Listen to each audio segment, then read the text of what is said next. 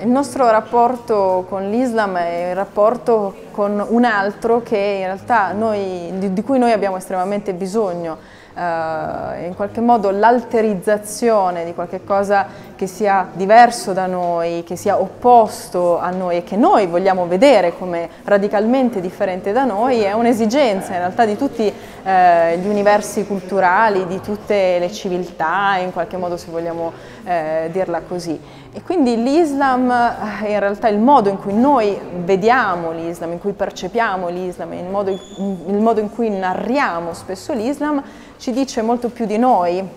molto spesso di quanto ci dica dell'Islam eh, reale. Oggi purtroppo l'idea dell'Islam, del mondo musulmano in generale, è veicolato anche attraverso un'informazione che ci giunge dal Medio Oriente, anche i fatti drammatici che ci giungono eh, dal Medio Oriente, una terra eh, travagliata, una guerra di conflitti, una guerra eh, di grande frammentazione politica, sociale, di grandi eh, diciamo, transizioni anche socio-economiche che hanno portato a eh, violenza politica, che hanno portato a una politicizzazione dell'Islam, che hanno portato ad una eh, strumentalizzazione dell'Islam che è giunta fino a noi. E quindi associamo in realtà l'Islam a tutta una serie di cose negative e che eh, in qualche modo associamo anche in maniera scorretta, anzi molto spesso scorretta, ai problemi sulla sicurezza, ai problemi della sicurezza che ehm, toccano le sponde del Mediterraneo e anche il cuore eh, dell'Europa in qualche modo. Quindi le migrazioni e il terrorismo associate direttamente all'Islam, ecco queste sono delle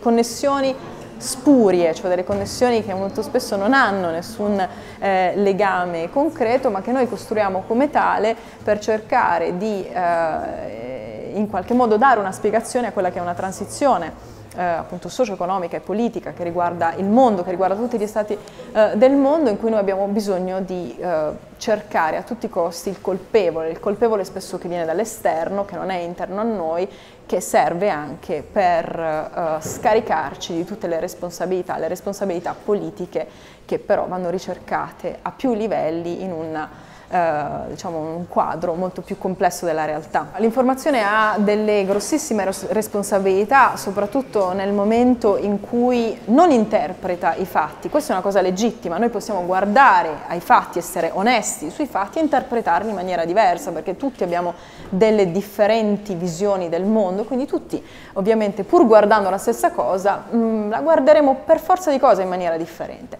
Che, quella che invece è una grande responsabilità dell'informazione oggi è mentire sulle fonti, eh, manipolare eh, le fonti, eh, presentare dei fatti che non sono in realtà accaduti. Questo è il vero nemico che dobbiamo combattere, questa è la vera eh, minaccia anche alla nostra democrazia, anche alla nostra libertà di pensiero, mentre non è una ehm, minaccia la soggettività. Ecco, quello che noi facciamo è cercare a tutti i costi l'oggettività, una verità assoluta, quasi la leteia no, di Platone, che è una cosa che però non esiste ed è in realtà la vera minaccia al libero pensiero. Eh, esiste una pluralità di visioni perché esistono tante visioni del mondo quanti sono gli esseri umani e quindi la soggettività è in realtà un valore, non è una, un qualche cosa da contrastare. Nessuno però eh, può imporre una sua verità che sia migliore qualitativamente di quella degli altri. Quello che è fondamentale è l'onestà sulle fonti e sui fatti. Internet ci ha dato la possibilità di eh, conoscere tutto in tempo reale, di vedere gli eventi mentre accadono e mh, dandoci l'illusione di poter essere quasi nei posti dove accadono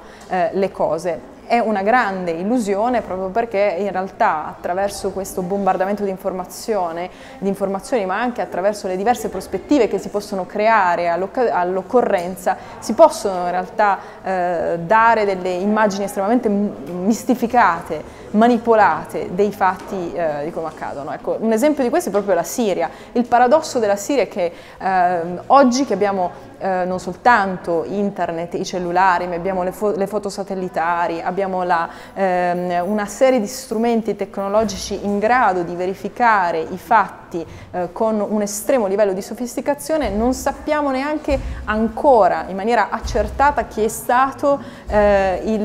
l'esecutore del, dell'attacco chimico del 2013 nella ruta, la campagna intorno a, a Damasco. Questo perché? Perché in realtà non si vuole fare chiarezza su chi ha compiuto quell'attacco chimico contro i civili a Damasco. Questo è semplicemente un esempio. Uh, quello che c'è dietro però purtroppo molto spesso che dobbiamo uh, rintracciare e investigare questionare con molta forza è il potere che spesso veicola e ci costringe a um, recepire determinate visioni dei fatti, percezioni dei fatti, perché determinati modi di vedere la realtà, determinate narrazioni in fondo fanno il gioco di certi poteri piuttosto che di altri.